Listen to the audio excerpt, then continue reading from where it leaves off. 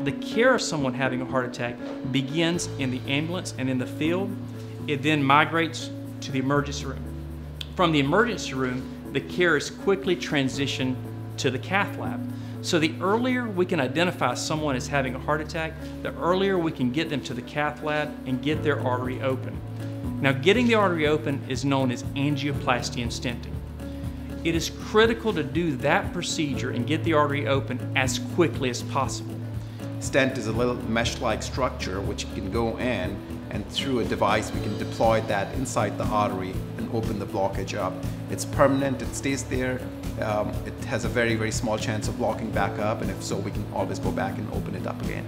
The procedure itself is used in multiple scenarios. It's used when patients present with uh, a heart attack, when an artery is completely shut down, the blood is uh, not getting to the muscle and they are in dire need of uh, restoring that blood flow. If that doesn't happen timely, then the patients can suffer some long-term consequences. Uh, and certainly it's a major risk factor for, uh, for uh, uh, adverse events such as dying from, from a heart attack. So it becomes very, very important to take care of those patients very urgently, very quickly.